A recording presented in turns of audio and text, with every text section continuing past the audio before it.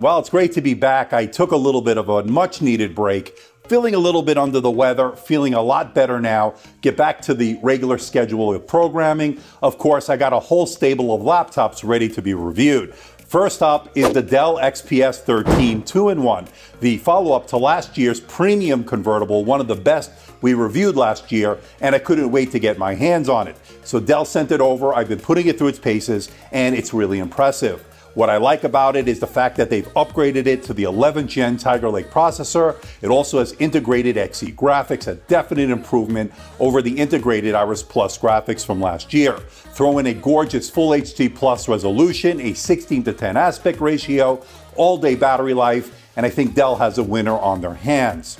Hey everybody, it's Andrew, and this is my review of the Dell XPS 13 2-in-1 9310 all new here for late 2020. Coming up.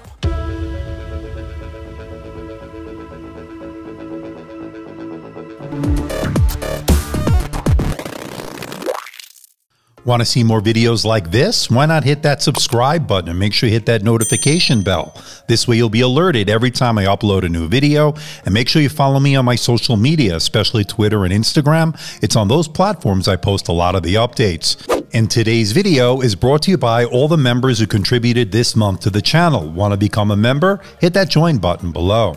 And in the interest of transparency and full disclosure, I'm not being paid by Dell. I'm not being sponsored by Dell. All the opinions you're about to hear are my own, and no one is seeing this video before its release. This review unit is on loan from Dell, and once this review is done, I'll be sending it back. You can pick up the Dell XPS 13 2-in-1, starting price $1,099. My review unit comes in at $1,549.99. I'll put the latest pricing and where you can buy it in the link below. And with specs and pricing out of the way, let's find out what you get inside the box. Let's open it up. Now, the packaging, of course, is very premium as we've come to expect with the XPS line. This is no exception. Lifting the lid, you're greeted by the unit itself, and we'll get to that in just a little bit. Of course, you get some documentation, which includes some warranty information and a setup guide. And once again, Dell does a really nice job presenting you the accessories in the box. We'll start off with that 45 watt USB-C power adapter. It also comes with an extension cord. You get a USB A to USB C adapter, which of course you'll need with this laptop. We'll get into that in just a little bit. And of course, the unit itself. Now, holding it for the first time, very premium, very high end. As we saw with the 9310, the clamshell design I recently reviewed, this is no exception and at 2.9 pounds or 1.32 kilograms, very thin and light, easy to take with you on the go. Now, most of the changes from last year's version occur under the hood. What we now have is an 11th gen Intel Core i7 1165 G7. We also have Intel Iris Xe graphics with shared graphics memory. Of course, that's a bump over the Intel Iris Plus graphics. And we now have two Thunderbolt 4 ports that support data, charge, and display out. That is definitely an upgrade over the Thunderbolt 3. And yes, this is Intel's Tiger Lake processor based on the Intel Evo platform, meaning it's certified that it has a certain minimum amount of specs that it had to meet. And that's pretty good so far with all the other laptops we've seen based on this platform.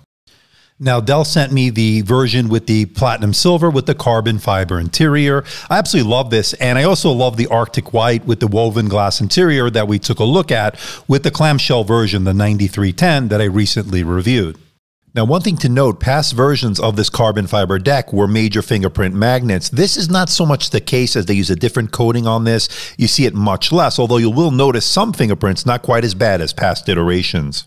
It does have a glass touchpad, a precision touchpad that is very responsive. Two finger scrolling is buttery smooth. All the Windows 10 gestures work as advertised. I think they did a really nice job with that touchpad. And once again, Dell went with the maglev keyboard on their two in one. That was the same we saw last year. It's a bit on the shallow side, of course, more akin to the 12 inch MacBook we saw in the past. And some people won't like it. Now, I do prefer the better keyboard, in my opinion, on the clamshell version of the 9310 that I recently reviewed. Now, having said that, this is definitely an improvement over last year's version. I just think it's still a bit on the shallow side. But you will get used to it and it will be fine for most people. But some people people will prefer a more traditional style keyboard.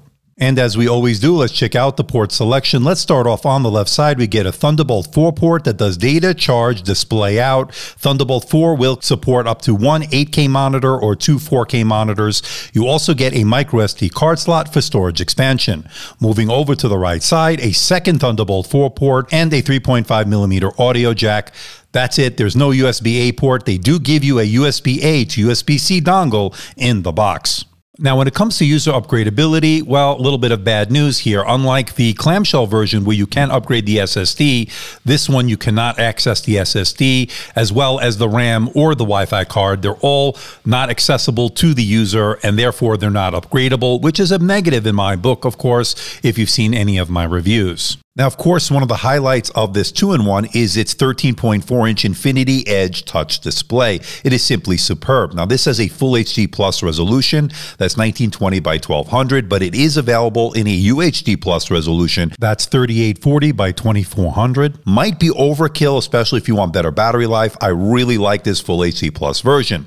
We get some really deep black, some very vibrant colors, excellent contrast, really good viewing angles, and it does have really good color accuracy and it covers the color gamut really well. 96% sRGB, 73% Adobe RGB, 73% of the DCI P3 wide color gamut, and 67% NTSC, making this a very good choice for those content creators that do Lightroom, Photoshop, and of course, video editing. Now, one of the best parts of this display is how bright it gets, especially if you turn off the adaptive brightness in the Intel Graphics Command Center. And I got to say, one of the brightest, sharpest displays out there on the market. That's what I saw with the 9310 clamshell. This is no exception here with the two in one. Really bright, sharp, crisp display. I think Dell did an excellent job. And you're to love the Infinity Edge display with those really micro thin bezels, giving off a really modern look. I really like the way this comes off. So, this is the front facing camera on the all new Dell XPS 13 2 in 1 9310 here late 2020 and uh, 720p 30 frames per second webcam infrared webcam meaning you can log in with face recognition via Windows Hello. Good for Zoom good for Skype. Let me know how it looks. Let me know how it sounds. I am curious to know now, when it comes to performance, pretty much on par what we saw with the Dell XPS 13 9310, which I recently reviewed. This, of course, has the same processor, same amount of RAM, type of RAM, and you see it here with this integrated Xe graphics, a definite bump over the integrated Iris Plus graphics from last year's 10th gen. And you definitely see them with the performance with the PC Mark 10, which is a good indicator of everyday use.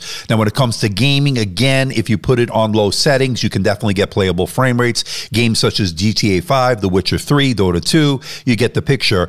Playable frame rates much better than last year's integrated graphics. So this is definitely an improvement if you're coming from the 10th gen to the 11th gen in terms of graphics performance.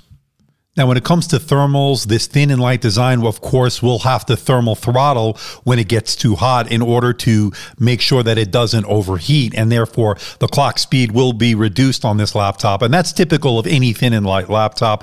It will start to get a little bit warm on the bottom when you're doing things such as gaming or intensive tasks. You will notice that buildup of heat on the bottom. That's again typical of any thin and light laptop. Not too terrible. You will notice the fans will kick in under heavy load, but not too obnoxious, not too loud and that's pretty good. And one area I'm really impressed with is battery life. That's thanks to that 51 watt hour battery that this has. It did 11 hours and 3 minutes on my continuous web surfing test over Wi Fi at 115 nits. That translates into all day battery life for everyday use, and that's something we'd like to see. It even outpaced the Dell XPS 13 9310. So, this is something that we'd like to see with our laptops. All day battery life is something we want to see. Now, as far as charging, it took less than two hours for a full charge with the included 45 watt USB C power adapter. That's pretty good. Now, one of the benefits of being a two in one convertible is you can put it into the different modes. Here, it's in tent mode, great for recipes in the kitchen, consuming media, same as we see here with the stand mode. And of course, you can put it into tablet mode. This makes for a great tablet, although at almost three pounds, not the lightest or thinnest in that category. However, you can use it in tablet mode with the pen. Now, the Dell didn't include a pen with this. I have tried it with a number of pens and it worked pretty well. Now, of course, you don't need to use the pen. You can use your finger to navigate through the OS. I found the responsive touchscreen very good in that regard, really nice and responsive. Now, when it comes to the audio, it has bottom firing speakers, and I thought it was impressive, filling up a room rather nicely. Decent volume, decent mids, and a hint of bass. Not too bad for a very thin and light laptop. I was impressed with these speakers. Okay, let's wrap it all up. What do I think of the Dell XPS 13 2-in-1 9310 here for late 2020 and absolutely love it. Although I'm not in love with that maglev keyboard. Again, last year they went with the maglev keyboard. It's improved this year, but still not as good as the traditional clamshell 9310 keyboard that we recently reviewed. Now, I love the absolutely gorgeous, stunning 13.4 inch Full HD Plus Infinity Edge display. It's a nice touch display. I like that 16 to 10 aspect ratio for getting work done. It's also great for consuming media. The integrated XE graphics are a definite boost over the integrated Iris Plus graphics from last year. Throw in some impressive speakers and all day battery life, and Dell has another winner on their hand. I'm definitely going to give this my editor's choice for the two in one convertible category. When it comes to the 13 inch laptops, this is one of the best out there. And once again, Dell has come through and hit a home run here in late 2020. What do you think about this bad boy, the XPS 13 2-in-1 9310 here for late 2020? All metal design, really premium build, of course. 2.9 pounds or 1.32 kilograms. Not the lightest out there, but definitely premium feeling in the hand. It's also light enough and thin enough to take with you on the go, so no worries in that regard. Now, Dell didn't send me the pen, but I did test a number of pens with it. It worked well, great for taking notes, sketching out artwork. Negatives, of course, only two USB-C ports, your Thunderbolt 4 ports, a definite improvement over the capabilities of the Thunderbolt 3. So it's good to see that. They do give you a USB A to USB C dongle in the box. So that is a nice little touch. But yes, lack of ports is definitely something to consider. Now, the other negative, of course, is user upgradability. Unlike the clamshell 9310 that I recently reviewed, you can't upgrade the SSD. Now, of course, you can't upgrade the RAM or the uh, Wi-Fi card on this. They're soldered into the motherboard, not accessible to the user. So that is something to keep in mind, but a little bit of a negative in my book, but not too much of a deal breaker for most people. Gorgeous 13.4 inch Full HD Plus Infinity Edge display. Absolutely gorgeous with its micro thin bezels. Gets super bright, over 500 nits as I showed you in the video. So really not a lot to complain here. I think Dell has hit another home run with this. I like what they bring to the table. It looks great. It sounds great with the nice bottom facing speakers. Uh, really, really good stuff here. But I'm curious to know what you think. Let me know in the comment section below. So please hit the like button, please subscribe, please share this video. Don't forget to leave a comment in that comment section below. Let me know how I'm doing. Let me know if there's a device or something out there you think I should review. I'll do my best to try to make that happen. Don't forget to check me out on Facebook, Twitter, Instagram, and of course my website, amdtechreviews.com. So until next time, this is Andrew from AMD Tech. See ya.